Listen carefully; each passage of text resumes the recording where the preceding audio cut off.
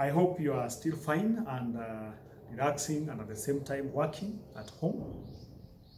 Uh, we continue with integration. This is our third lesson. In the previous lessons, we were looking at integration in general.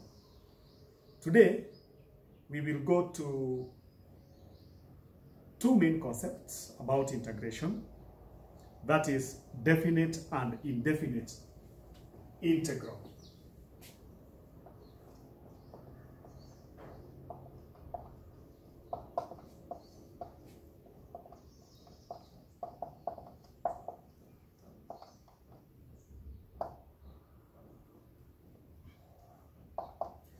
Now, uh, when we were integrating, that is getting the value of y. There's a symbol that we normally use for integration. And this is the prolonged S. So this is the symbol we use. So when you find such a symbol in mathematics, it means integrate. So if I write, or if I write that symbol, and I put 4 minus 6x, then I put this in brackets, dx, I mean integrate with respect to x. This dx means with respect to x. So if I put dt, and the constant here was t, I would mean integrate with respect to t. But let's use x for now. We will be using t and other variables later. Now, that integration gives me an equation of y.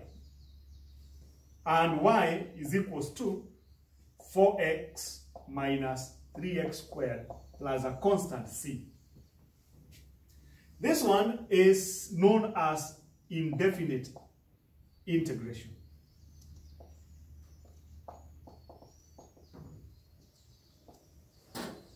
There are so many values of y that I can get. And even if I get this constant, the way we did in the previous lesson, there are so many values of x I can get given any value of y. So a different value of x will give me a different value of y. That's why we call it indefinite. It is not specific. It is not giving me a specific answer like 10, 15, negative 4.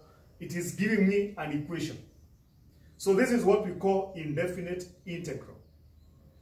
And the moment you see this sign, it means integrate. So if I write to you that with respect to x, I mean integrate 3x plus 2 with respect to x. And what you get here will be an equation of y in terms of x. And that one is indefinite integration. You have gotten an equation. So anytime you integrate and you get an equation, that one is known as indefinite integration. When you come to definite integration, you can, you can integrate this one and finish. Just integrate, go ahead and finish that, see what you're going to get.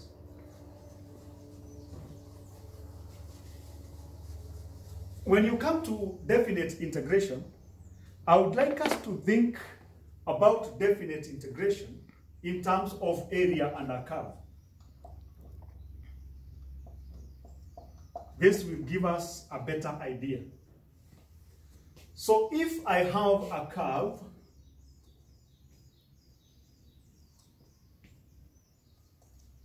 of y is equals to x squared plus 2, and I want to get the area between that curve and x is equals to 1, the, the line x is equals to 1 and the line x is equals to 5.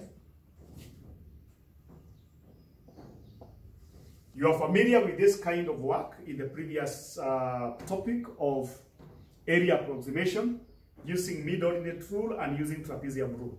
So this is the area we are talking about.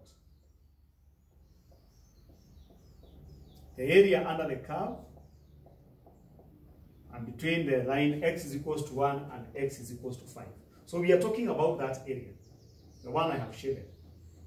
So for us to get this, we can apply integration. And integration will give us the exact area. Remember, the other rules will give you approximated area. But integration will give you the exact area. Now, the way we do this, write the sign of integration. We integrate the curve itself, the equation of the curve itself. x squared plus 2, we will integrate with respect to x. And we have limits. One of our limits is 1 and the other one is 5. So this one is known as the lower limit and then the 5 is the upper limit. And we insert the limits in the sign for integration here. So we put 1 and 5. So you are integrating within those limits, within the limit of 1 and 5. And we will work out this one. First of all, you integrate normally the way we were integrating. So integrate this and you will get x cubed over 3 plus integrate 2 and you get 2x. You can add a constant, no problem. Now that you have already integrated, these limits, we will not write them in front of the brackets, but we will write them at the end of the brackets. Note the brackets I have used, the box brackets. They have a meaning. And the meaning is this. You are supposed to substitute the upper limit first. You substitute x is equals to 5 here. You will get an answer. Then you substitute the lower limit. That is x is equals to 1. And then you get the difference. Let's start. Let's substitute x is equals to 5 here. So we will get 5 cubed over 3 plus 2 times 5. Still, you can still add the c, although it is going to give you a 0 when we subtract. So we have substituted x is equals to 5 in this equation. We start by substituting the upper limit. Then we substitute the lower limit now. So substitute x is equals to 1 here, you get a that, plus 2, plus c. So you get an answer here for x is equals to 5. Then you get an answer here for x is equals to 1. And then you subtract. When you do that, you will get an answer I think you should get around 33 and that. Just try. This C is going to give you a zero because this will be C and when you open these brackets it will be minus C. So C minus C will give you a zero. So your answer will not be in terms of C but it is going to be a definite answer. So that is definite integration we have gotten a definite answer, a number, 33 and a that. So in this case, the area between this curve and the line x is equals to 1 and x is equals to 5 is actually 33 and a third square units. I would like you at your own time to get the same area using the trapezium rule. Go and use the trapezium rule. You can use uh, h is equals to 1 for the trapezium rule.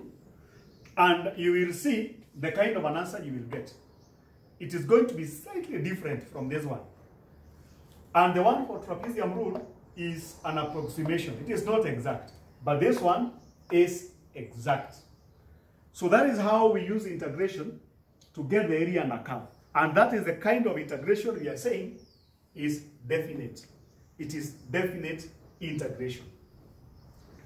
I want to give you another example under definite integration.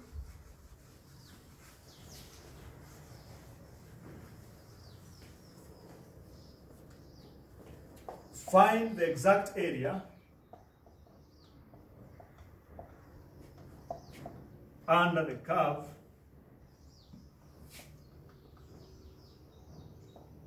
y is equals to x cubed the x-axis and the lines x is equals to negative 2 and x is equals to 2.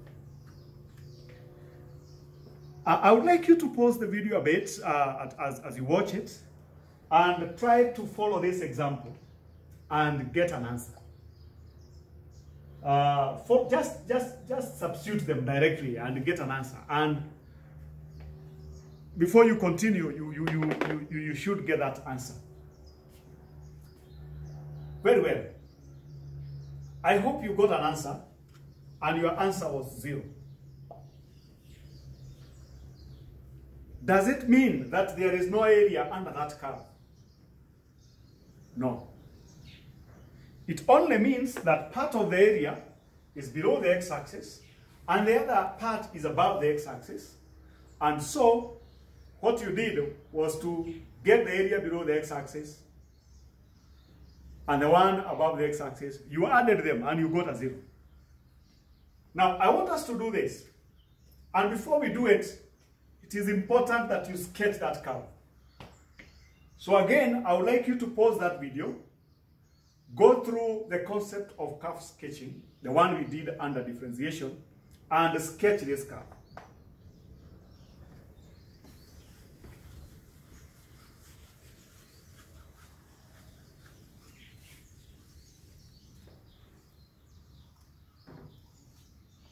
I hope your sketch looks something like this. The curve has a, station, a stationary point at x is equal to 0. It is an increasing point of inflection. So this is y is equals to x cubed. We are getting the area under that curve and x is equals to negative 2 and x is equals to 2. So this is the area we are getting. The point I want you to get here is, when you're getting the area under a curve, it is important for you to sketch that curve. You may not be asked to sketch, but it is important for you to sketch. Why?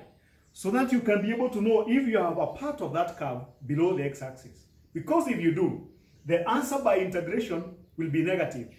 But that does not mean that the area is negative. It only means that the area is below the x-axis. So what we are going to do, we are going to integrate this curve from x is equal to negative 2 up to 0. Why 0? That is the point at which the curve touches the x-axis. So if our curve touched the x-axis at another point, for example, negative 1, we would integrate up to that point, negative 1. If it touched the x-axis at 1, we would integrate up to 1. So we integrate from negative 2 up to 0 because that is where the curve touches the x-axis. Before it moves on now to the positive part of the x-axis. So we are going to integrate from negative 2 to 0 x cubed with respect to x. I would like you to carry out that and uh, tell me what you are going to get. After you have done that, I hope the answer you have gotten is a negative. Actually, you get negative 4. Negative 4. This negative you ignore because area cannot be negative. Means it's just below the x-axis. So the area below the x-axis here is 4. Then I would like you to integrate from 0 up to 2, this part which is above the x-axis. You are integrating the same curve, x cubed, with respect to x. It's a definite integration. Integrate and then you substitute these two. And the answer you will get is the area is 4. So this area is 4. Now you can see the reason why you had gotten a 0. You had gotten here negative 4 directly and you added to 4. So you got a 0. But now we will ignore this 4 and the area will be 4 plus 4. So the area becomes 8 square units. This underscores the importance of sketching the curve before you get the area. Now there we have a good link between uh, differentiation and integration when it comes to getting the area under a curve. I hope you have gotten that concept uh, clearly. I will give you more uh, assignment on that. And you can also practice more.